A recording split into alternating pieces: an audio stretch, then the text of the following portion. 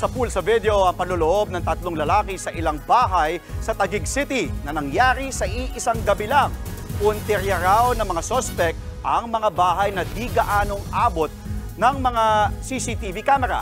Nasa frontline ng balitang yan si Brian Basa.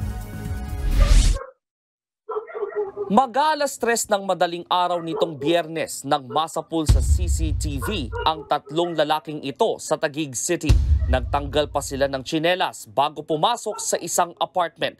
Pero hindi pala residente ang tatlo, kundi mga magnanakaw. Tumagal din ng halos 10 minuto bago bumaba ang grupo, saka tumawid lang sa katapat na bahay na kanila ring nilooban. Luminga-linga pa ang mga kawatan hanggang sa napansin ng isa sa kanila ang kamerang nakatutok sa kanila.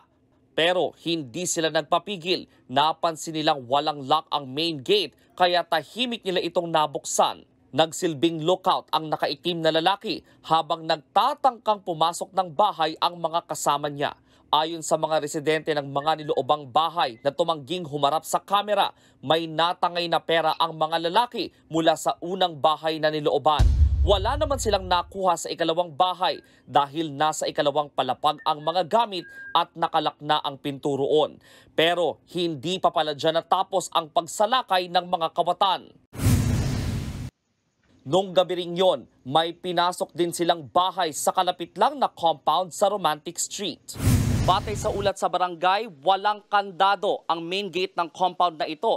Kaya malayang nakapasok ang mga kawatan at sinungkit sa tapat mismo ng bahay ng biktima ang tatlo nitong branded na damit.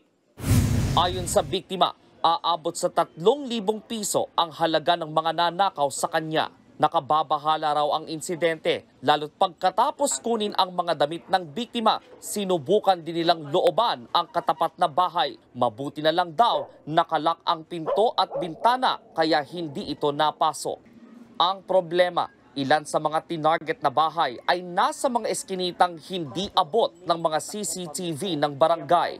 Tila kabisado rin ng grupo ang kilos ng mga otoridad. Ito pong mga ganitong tao is ay mga sanay na. Alam nila yung tamang pagrubing, alam na kami rurubing, alam din na rurubing itong kapulisan natin. Sila po ngayon ay sumasalisik. Patuloy na inaalam ang pagkakakilanlan ng mga lalaking sumalakay sa mga bahay. Nagbabalita mula sa Frontline, Brian Basa, News 5. Mga kapatid, Jess De Los Santos po, huwag magpahuli sa mga umaaksyong balita at napapanahong issue sa bansa. Para sa mas malawak na balitaan, mag-subscribe at mag-follow sa social media pages ng News 5.